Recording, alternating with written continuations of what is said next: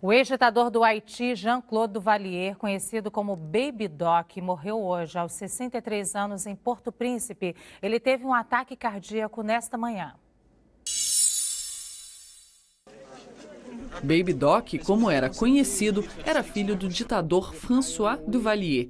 Ele assumiu o poder no lugar do pai aos 19 anos e dizia que era presidente vitalício do Haiti. Foi afastado do governo 15 anos depois por uma revolta popular em 1986 e se exilou na França. Em 2013, Duvalier apareceu em um tribunal sob escolta policial. Ele foi acusado de corrupção e graves violações dos direitos humanos. Mais de 100 milhões de dólares destinados a obras sociais foram desviados pelo ditador segundo autoridades do Haiti. Em fevereiro, um tribunal haitiano decidiu que Duvalier poderia ser acusado de crimes contra a humanidade.